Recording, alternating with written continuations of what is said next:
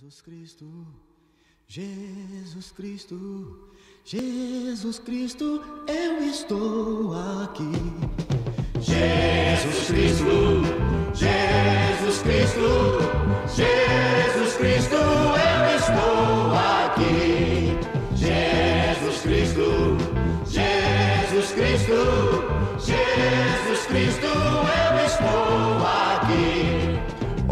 céu e vejo uma nuvem branca que vai passando. Olho na terra e vejo uma multidão que vai caminhando. Como essa nuvem branca, essa gente não sabe aonde vai. Quem poderá dizer o caminho certo é você, meu Pai. Jesus Cristo, Jesus Cristo. Em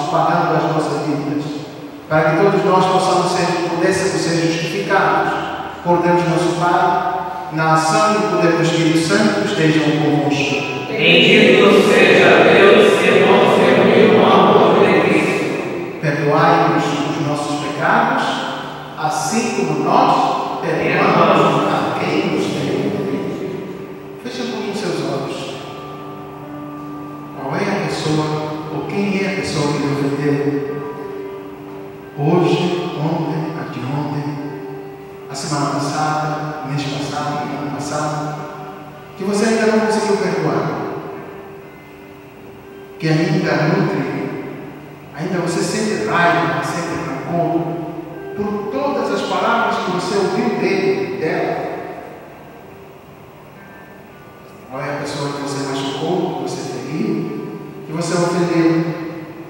Essa pessoa está na sua casa?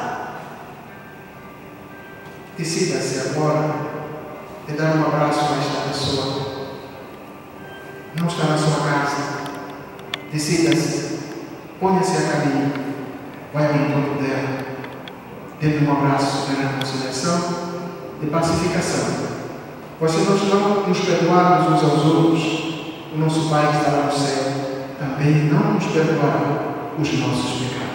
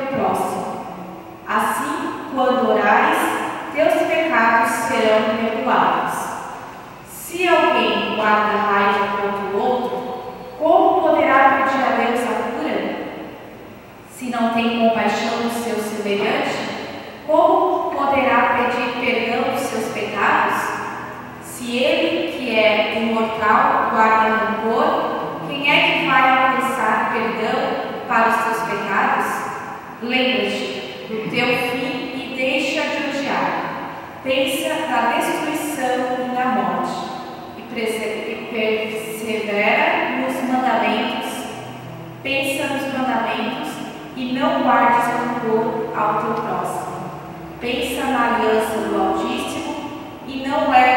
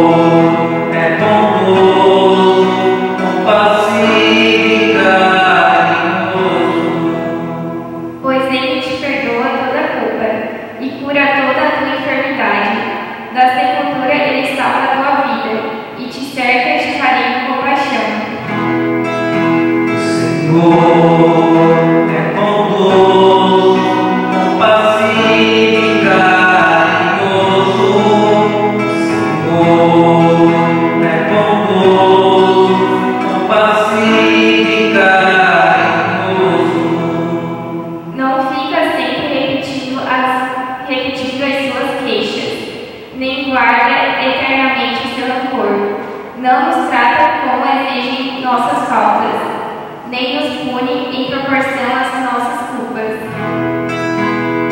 Senhor, é tão bom.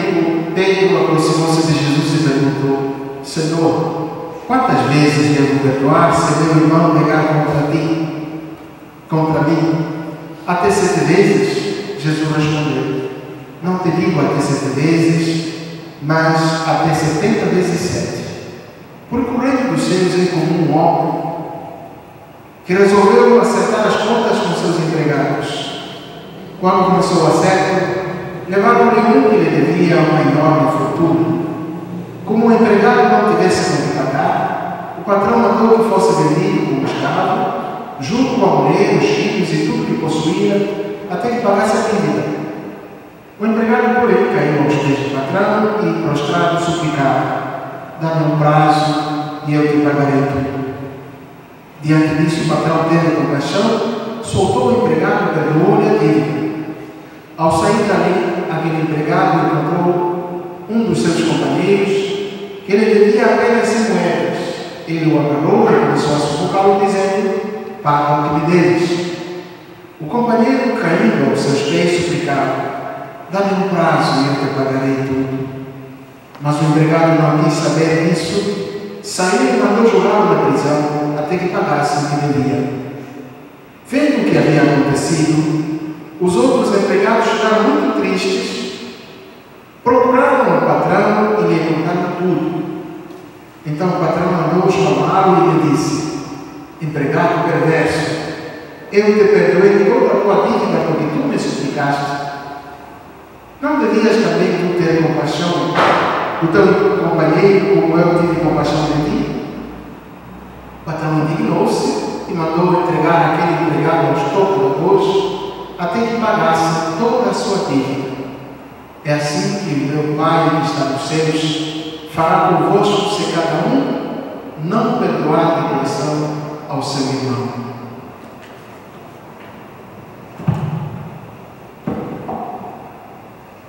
Palavra da salvação. Glória a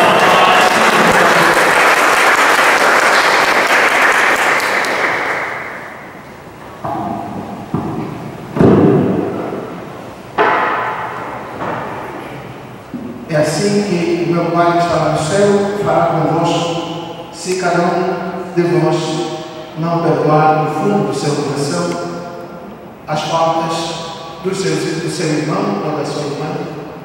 É assim que Deus fará com você, querido marido, se não perdoares as falhas e as fraquezas da sua esposa.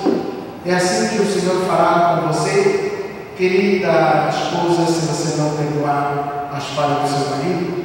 É assim que o Senhor fará com você, querido filho, se não perdoar as falhas do seu pai, e assim sucessivamente.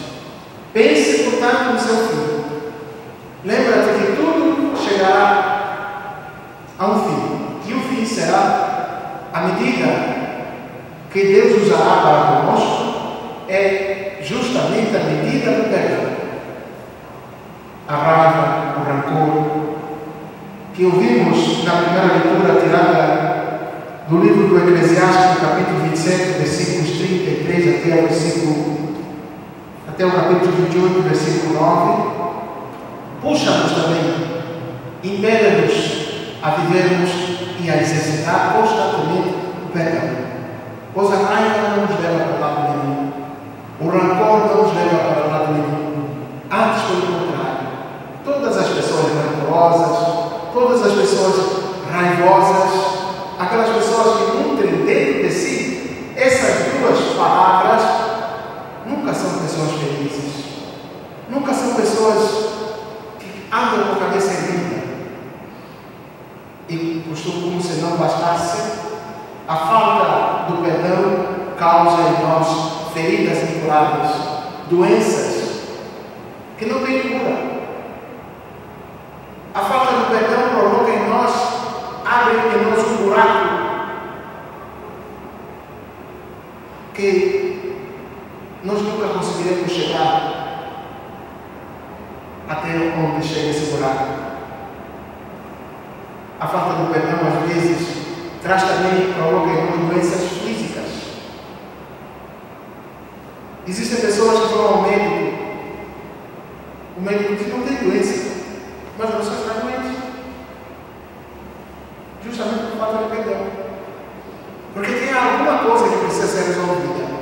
Os nós que são atados dentro de nós, por causa da falta do perdão, provocam em nós ruínas. Já aqui na terra, não falamos lá no céu. Quando chegarmos à hora final, Deus nos perdoará na medida em que nós perdoarmos os nossos pecados. Então, a primeira leitura, lembra-te do teu filho e deixe-te odiar.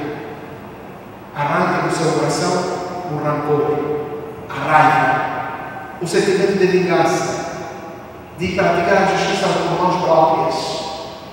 E logo em seguida, o texto pense na destruição e na morte, para dizer que o perdão nos liberta, o perdão nos salva, o perdão nos aproxima, mais do que dos outros, de Deus. O perdão nos faz cidadãos e do céu e irmãos e irmãs de Jesus Cristo. Olha o texto vai nos dizendo aqui. Pensa na destruição e persevera nos mandamentos. Pensa nos mandamentos e não guardes rancor ao teu próximo. O texto aqui está nos aproximando do livro do Deuteronômio. Está nos aproximando do resumo de todos os mandamentos.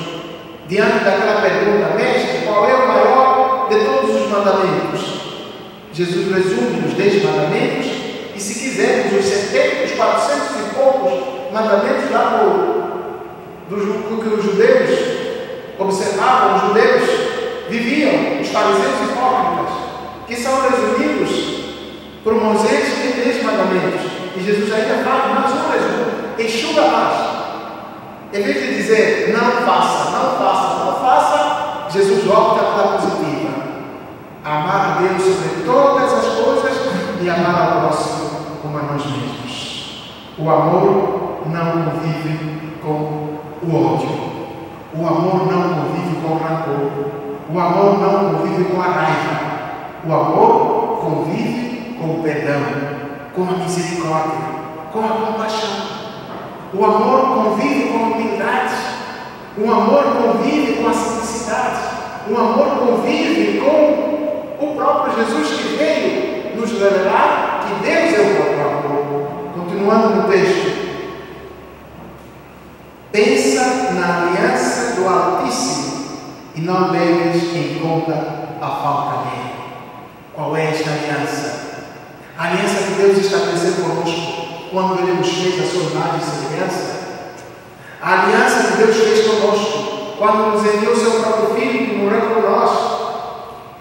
Veja o grande presente com que Deus nos granjeou. Na altura em que nós jazíamos no fundo do poço, Deus olhou para nós com misericórdia. Deus usou de caridade para conosco. Saiu da Santíssima Trindade, lá, abandonou Deus Pai, abandonou Deus Espírito Santo e veio, assumiu o nosso pecado. Para nós sair, eu tenho razão, tenho razão, sair para encontro o Murilo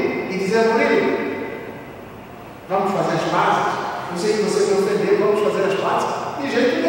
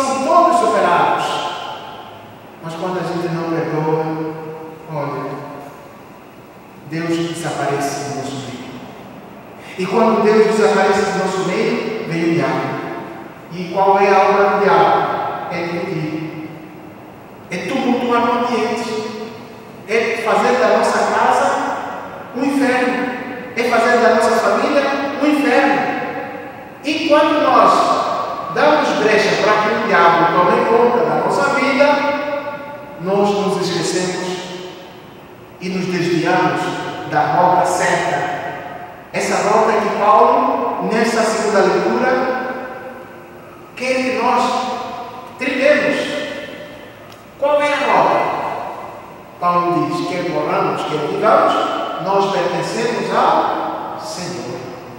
Pertencer ao Senhor implica viver um exercício constante do perdão.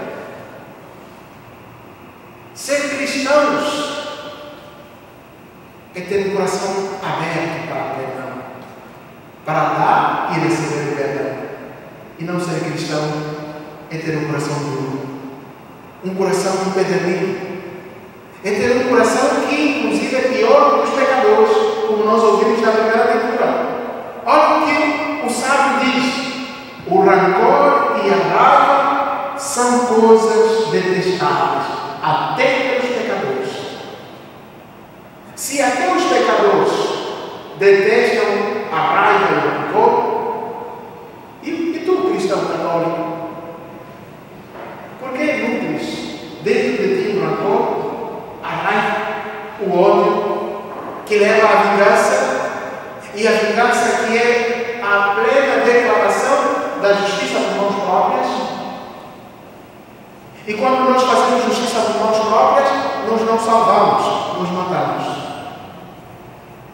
Nós condenamos, nós destruímos, não construímos. Portanto, a liturgia da palavra deste domingo, 24 domingo do tempo comum, é um convite para que nós nos preparemos para o dia final, que, segundo Mateus, capítulo 18, versículos 21 até o versículo 35, usando uma parábola, Jesus fala de um rei que chama os empregados, que lhe deviam, você, que lhe deviam, dois empregados são, são destaque, um que devia uma enorme quantia, paga o que me deves, e ele prostrado suplica o perdão. Ele não, não suplicou que fosse perdoada a sua dívida, pediu um tempo, dê-me um tempo e eu te pagarei. O rei concedeu-lhe não só o tempo, como perdoou toda a dívida, esperando que aquele homem fizesse o mesmo com o seu companheiro. Mas infelizmente não aconteceu. Quem é este que deve muito? Somos nós. Nós somos mais devedores de a Deus. Nós devemos muito mais a Deus do que o que os outros devem. Uma palavra atravessada, uma coisinha assim mal colocada. Às vezes não foi proposital, foi por engano, mas nós nutrimos dentro de nós coisas horríveis, coisas inimagináveis. Nunca teria passado pela cabeça do marido ou da esposa coisas desse tipo. Mas nós queremos fazer de graça. Me traiu, também vou trair. Me enganou, também vou enganar. Roubou, também vou roubar. Me prejudicou, também vou prejudicar. Quando a palavra diz: amai os vossos inimigos, rezai por aqueles que os perseguem. Se fazeis somente o bem àqueles que os fazem o bem, que coisa extraordinária estareis fazendo? As pessoas deste mundo não fazem a mesma coisa? Portanto, perdoai para serem perdoados. Amai para serem amados. Não julgueis para não serem julgados. À medida que usardes para com os vossos irmãos e irmãs, e hoje essa medida é a medida do perdão. A medida do perdão que nós usamos para com a esposa, com o esposo, com os pais, com os filhos, com os irmãos e com as irmãs, é a mesma medida que Deus usará para conosco. Por isso é que começamos essa meditação fazendo como que uma, uma revisão de vida. Quem são as pessoas que me machucaram? Quem são as pessoas que me magoaram? Quem são as pessoas que eu machuquei, magoei? O marido? É a esposa? É o meu filho? É a minha filha? Quanto tempo eu não falo com o meu filho? Quanto tempo eu não falo com a minha filha? Quanto tempo eu não falo com o meu marido? Estamos na mesma casa? Estamos em quartos separados? Meu Deus, que coisa é essa? Onde nós vamos parar? Mas só por causa dessa pequenininha coisa? Ai, meu Senhor, dá-me a graça de perdoar. Eu quero perdoar o meu amigo, quero perdoar a minha amiga, aquilo que ela me fez, aquilo que ele me fez. Dói, sim, dói. Também não. Vocês acham que foi fácil para Jesus? É o preço do perdão para Jesus? O perdão de Deus custou a vida do Filho de Deus. E São Paulo diz que nós ainda não sofremos o suficiente aquele derramamento de sangue. Nós só seremos, nós só poderemos usar a palavra eu sou forte quando a nossa capacidade de perdoar chegar a ele. E é por isso que perdoar é difícil. É por isso que perdoar dói. Porque é necessário passar pela cruz para entender o quanto dói perdoar. Mas é através do perdão e pelo perdão que nós chegaremos ao céu. Pois se nós não perdoarmos de todo o nosso coração as falhas, os pecados dos nossos irmãos e irmãs, Deus não nos perdoará os nossos muitos pecados. Através do seu filho, ele dirá: Filho, ó Padre Branco, eu morri por ti na cruz, dei a minha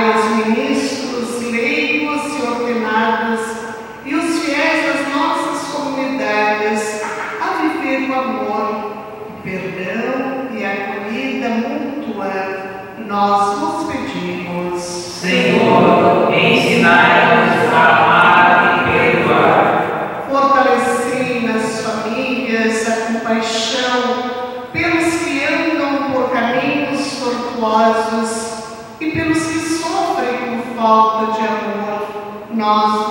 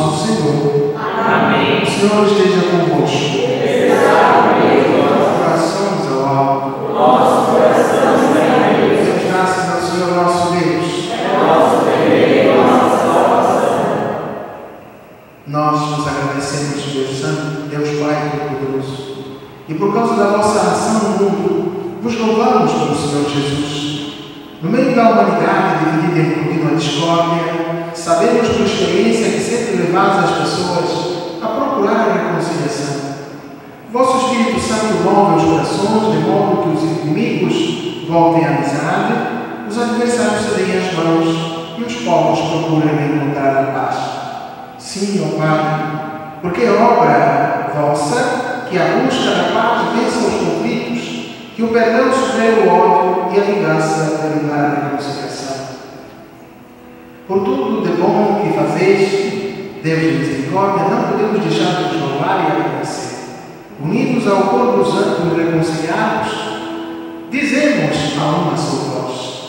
Santo, Santo, Santo, Senhor Deus do universo, o céu e a terra proclamam a vossa glória, Hosana nas alturas. Bendito que vem em nome do Senhor, Hosana nas alturas. Deus de amor e poder. Louvado sois em vosso Filho Jesus Cristo, que veio em vosso nome.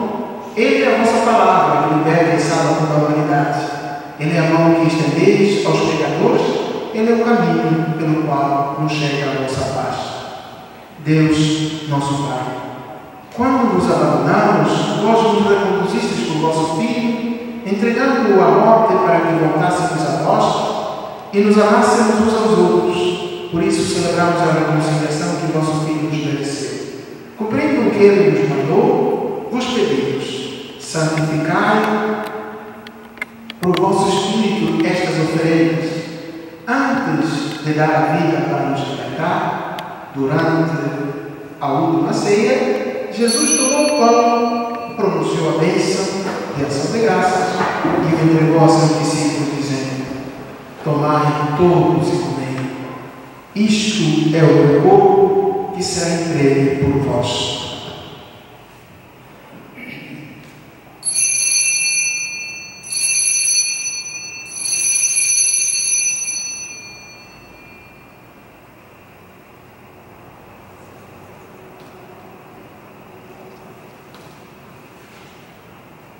Deu a mão no fim da ceia, tomou o cálice em suas mãos, proclamou a vossa misericórdia e deu a seus discípulos, dizendo: Tomai todos e bebei. Este é o cálice do meu sangue, o sangue da nova eterna aliança, que será derramado por vós e por todos para a remissão dos pecados. Fazei isto em memória de mim.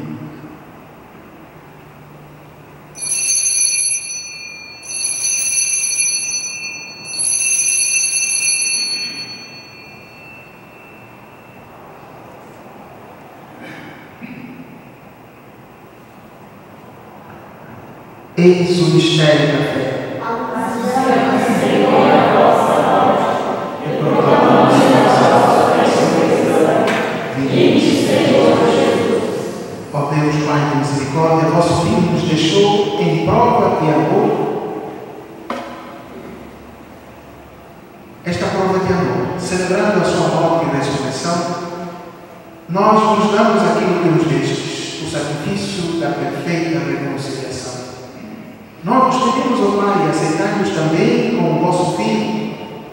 nesta ceia dai-nos o mesmo espírito de reconciliação e de paz.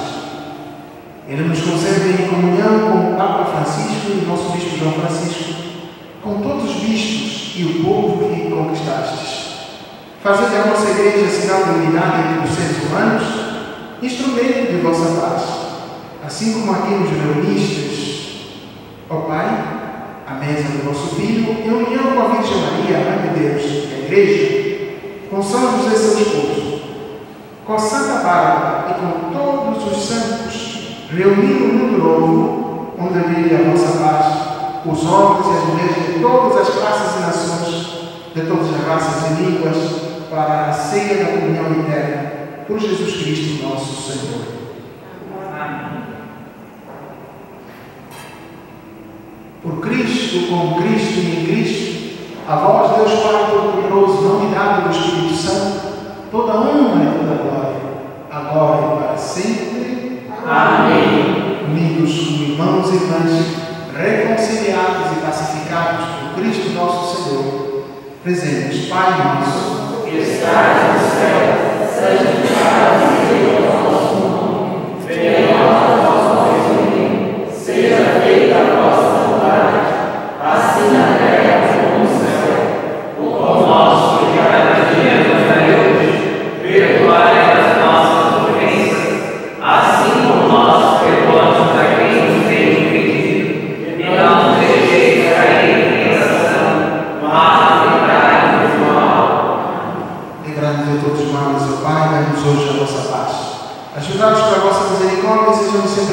pecado e de toda a perturbação, e enquanto vem a esperança, aguardamos a vinda de Cristo nosso Salvador. Vosso reino, o poder e a glória.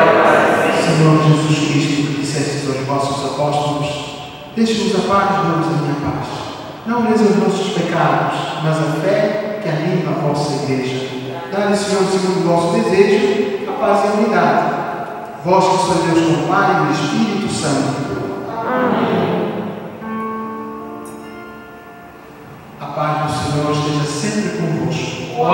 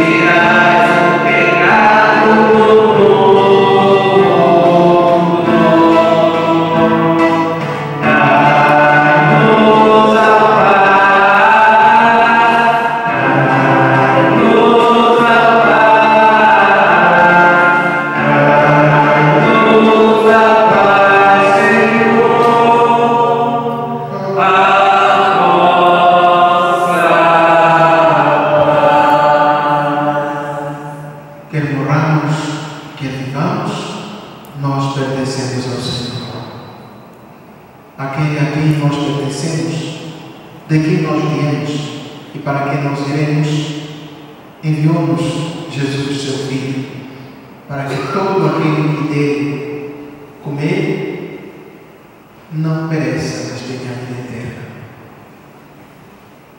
Ele, o poder de Deus,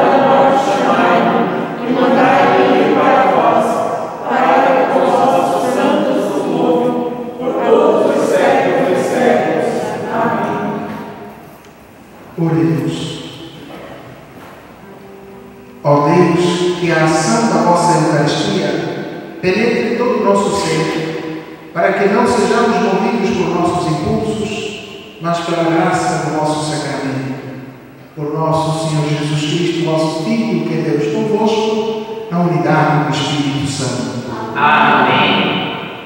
Podemos sentar um pouquinho para os avisos?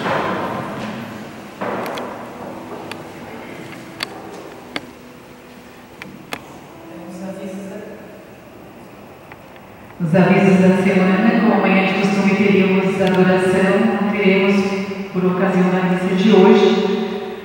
E convidar a todos para acompanhar pelo Facebook, pela página capela, o nosso texto mariano todos os dias às 19 horas.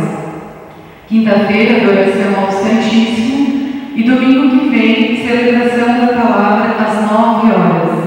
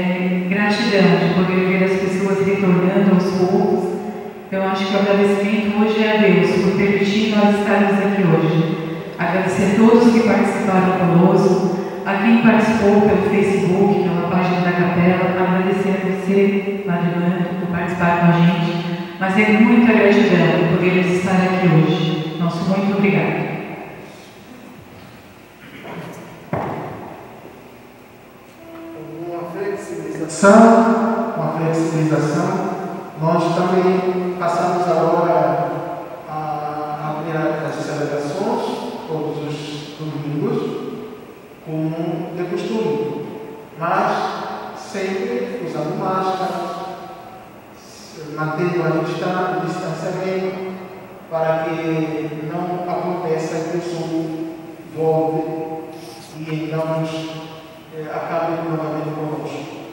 Todos ligados da vigilância sanitária, ou então a nossa prefeitura, o nosso governo estadual, precisam ser mantidos. O nosso prefeito tem o mundo inteiro, lavar as mãos, com álcool, máscara, evitar estar juntos ou aglomerações, é, sentar apenas juntos se vêm da mesma casa, moram na mesma casa, mesmo que sejam parentes, desde que não vivam na mesma casa, então que funcionamento distanciados uns dos outros.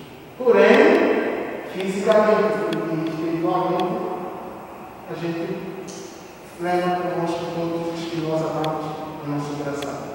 Isso significa amar, também proteger. Proteger também é amar. Amém? Amém. Vamos colocar de pé para a bênção.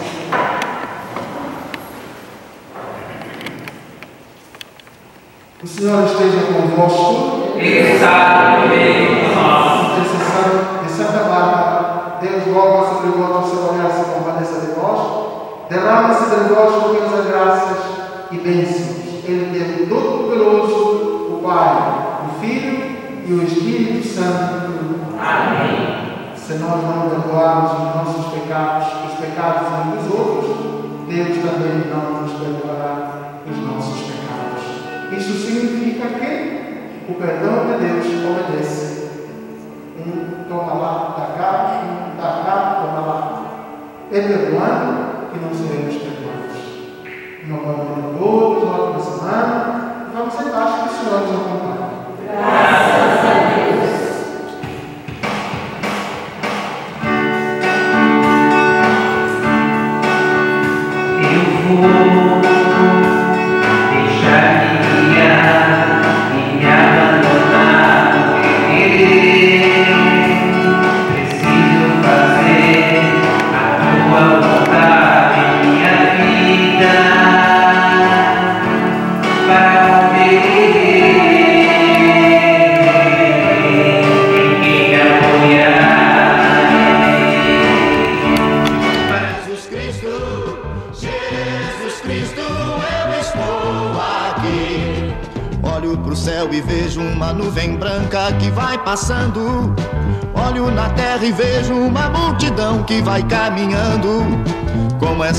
Nuvem branca, essa gente não sabe aonde vai. Quem poderá dizer o caminho certo é você, meu Pai. Jesus Cristo, Jesus Cristo, Jesus Cristo, eu estou aqui. Jesus Cristo, Jesus Cristo, Jesus Cristo, essa multidão tem no peito amor e procura paz. E apesar de tudo, a esperança não se desfaz. Olhando a flor que nasce no chão daquele que tem amor. Olho pro céu e sinto crescer a fé no meu Salvador. Jesus Cristo, Jesus Cristo, Jesus Cristo, eu estou aqui. Jesus Cristo, Jesus Cristo, Jesus Cristo, eu estou aqui. Jesus Cristo, Jesus Cristo.